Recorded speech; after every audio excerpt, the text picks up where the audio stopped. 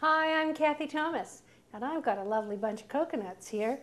This one is a mature brown coconut. This is the kind we're more accustomed to seeing, and the exterior looks like fuzzy brown hair, and it's hard. And to open this baby, you can either use a little hammer action, or you can use the monkey technique, which I like, which means you just drop it on the driveway. But more and more we see these hut young sweet coconuts in the marketplace, especially if you're shopping in an Asian market or a Hispanic market.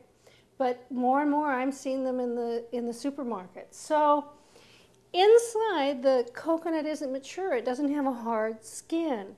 It's more like the consistency of coconut pudding.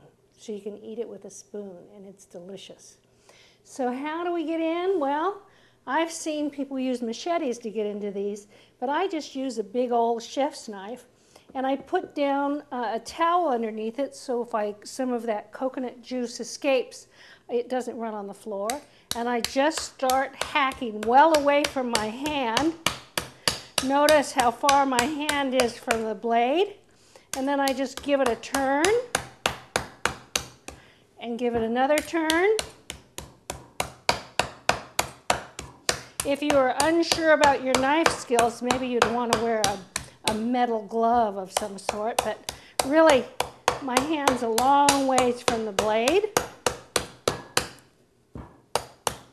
Look like fun?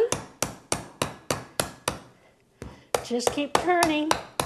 And we're almost there.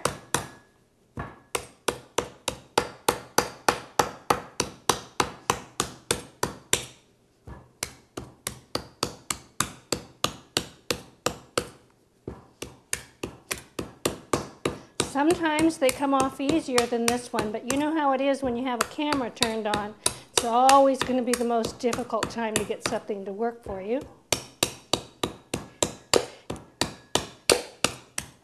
And we're almost there.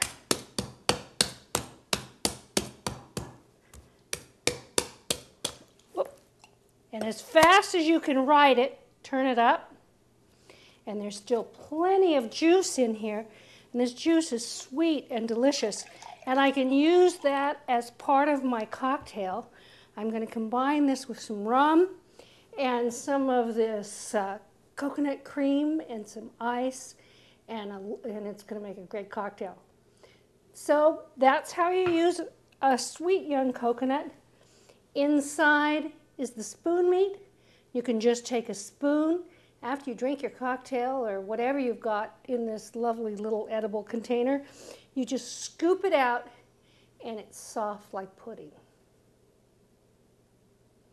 And here it is. It's just beautiful and it's a little bit gelatinous and looks like pudding. Mmm. And it tastes sweet too. So that's all there is to it.